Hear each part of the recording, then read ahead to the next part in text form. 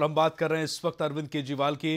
कल दिए गए इस्तीफे के बाद जिस तरह के हालात बने हुए हैं और क्या है, क्या राजनीतिक हलचल इस वक्त दिल्ली प्रदेश में है, हमारे साथ अरविंद खोकर हमारे संवाददाता है। केजरीवाल के घर पर आप अरविंद इस वक्त हैं। वहाँ पर किस तरीके की हलचल है? क्या नेताओं का कोई आना जाना है? कुछ सियासी सरगर्मियाँ किस तरीके की हैं वहाँ? देखिए आम आदमी पार्टी के बड़े बड़े नेता यहाँ पे पहुँच रहे हैं और बाकी नए पहुँचने वाले योगेंद्र यादव यहाँ पहुँच चुके हैं, गोपाल राय यहाँ पहुँच चुके हैं, प्रसाद भूषण यहाँ पहुँच चुके हैं। इन सबका मंथन मनीष सिसोदिया भी यहाँ पहुँच गए। सबसे पहले मनीष सिसोदिया यहाँ पहुँचे थे, उसके बाद ये बाकी नेता पहुँचे और बाकी मंत्री और दूसरे नेता आने वाले हैं। आम आदमी पार्टी की पूरी रणनीति इस समय, बाकी जो कल दिल्ली कैबिनेट ने जो प्रस्ताव पास किया, जिसको एलजी को दिया गया कि दिल्ली विधानसभा को तुरंत भंग करके तुरंत चुनाव कराए जाएँ। आम आदमी पार्टी की इसी रणनीति यही कि तो दिल्ली में जो है लोकसभा के साथ साथ चुनाव कराए जाएँ।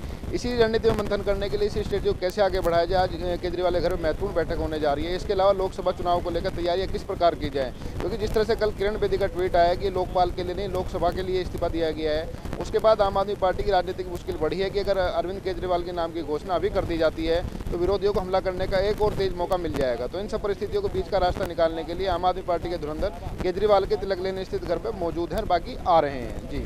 जी तो अरविंद क्या कोई आ, मीटिंग यहाँ पर होने वाली है? आपने बताया कि नेता यहाँ पर आने वाले हैं। कुछ ही वक्त पहले केजरीवाल ने कहा था कि आज वो सिर्फ़ आराम करने वाले हैं।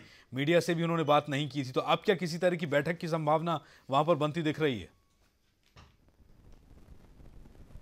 देखिए अरविंद केजरीवाल पूरे अपने मीडिया को अपने अपने आसपास रखना चाहते हैं। उन्होंने कहा था कि हम आराम करना चाहते हैं। लेकिन उसके बाद जिस तरह से मंत्रियों का और पीएससी के जो बड़े नेता हैं जो आम आदमी पार्टी की पॉलिटिकल अफेयर्स कमेटी है उसके बड़े नेताओं का जैसे जैसे यहाँ पहुँचना शुरू हो चुका है उससे साफ़ है कि आराम का दिन नहीं है केजरीवाल के लिए गहन मंथन का दिन है और वो मंथन इस पर कर रहे हैं कि जिस तरह से सरकार गई है और उनके ऊपर जो आरोप लग रहे हैं कि वो सरकार चलाना नहीं चाहते थे इसलिए उन्होंने शहीद की भूमिका निभाई है। इसको देखते हुए पूरा मंथन की प्रक्रिया चल रही है। लोकसभा चुनाव के जिस तरह से आम आदमी पार्टी ने पहले कहा था कि 10 जनवरी या जनवरी के पहले हफ़्ते में जो उम्मीदवारों की कम से कम घोषणा कर दी जाएगी लेकिन अब फरवरी का 15 फरवरी आज है वो घोषणा नहीं हो पाई। इन सब पे चर्चा आज करने के लिए बैठे क्योंकि आम आदमी पार्टी पे राजनीतिक हमले तेज हो गए हैं। जी।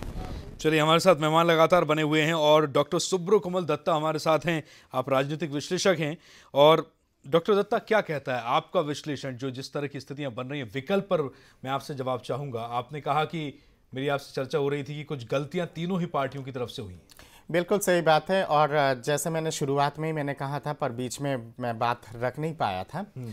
हाउस के बिज़नेस पे अगर लिस्टेड हो कोई भी। चीज़ कोई भी क्लॉज या फिर हम्म। कोई भी बिल और उस पर अगर सरकार की अगर डिफीट होती है तब वो outgoing government lieutenant governor को या फिर गवर्नर को लिख सकता है for the dissolving of the assembly पर uh, बहस जो हुआ था जैसे स्पीकर ने uh, जैसे मैंने कहा था कि आधा घंटा स्थगित हुआ था दोबारा रिकन्वीन हुआ स्पीकर ने फिर कहा कि लेफ्टिनेंट गवर्नर की जो चिट्ठी है क्या वो हाउस में प्लेस हो और उस पर बहस हो कि मतलब लोकपाल बिल जन लोकपाल बिल इंट्रोड्यूस होना चाहिए या नहीं होना चाहिए? लेफ्टिनेंट गवर्नर की चिट्ठी पे पहले वोटिंग हुई जो कि हाउस के बिज़नेस में लिस्टेड नहीं थी।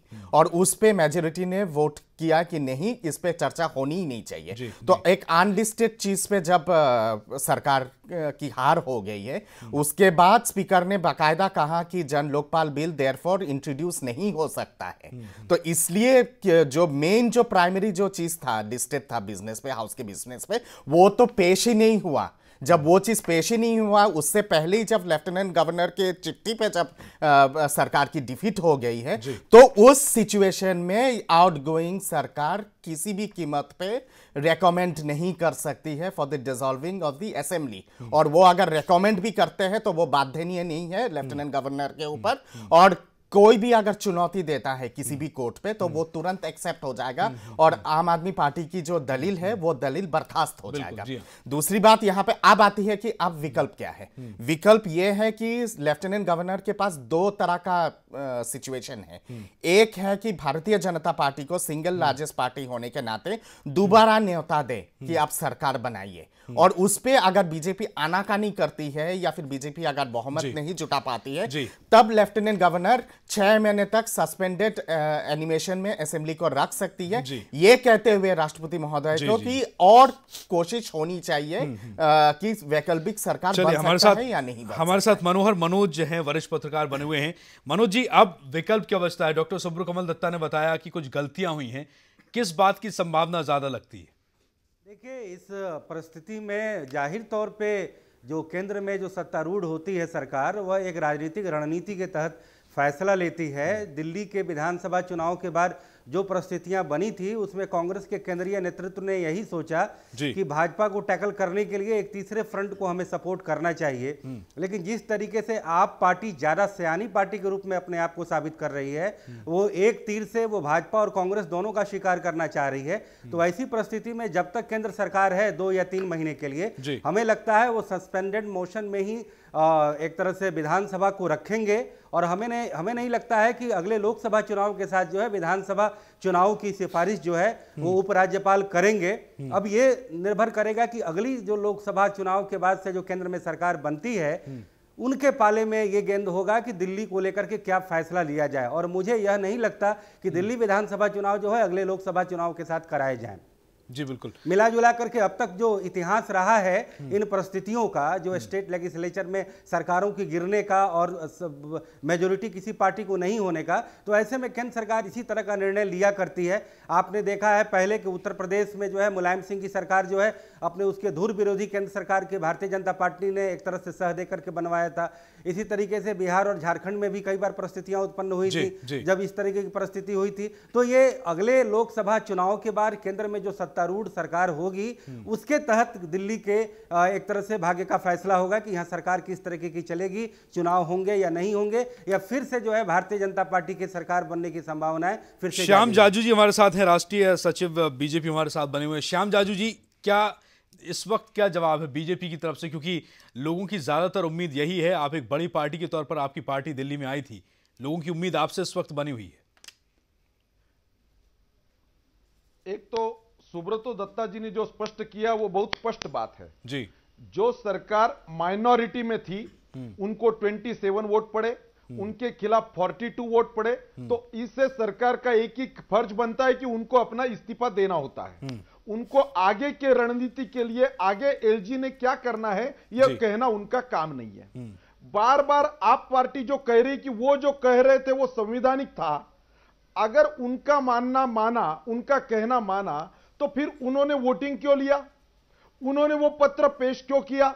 एलजी का पत्र नकारने का अधिकार भी तो फिर उनके पास था। संवैधानिक प्रक्रिया को अलग करके केवल अपना हिडन एजेंडा लेकर बाय हुक और क्रुक उनको तो इस्तीफा देना ही था।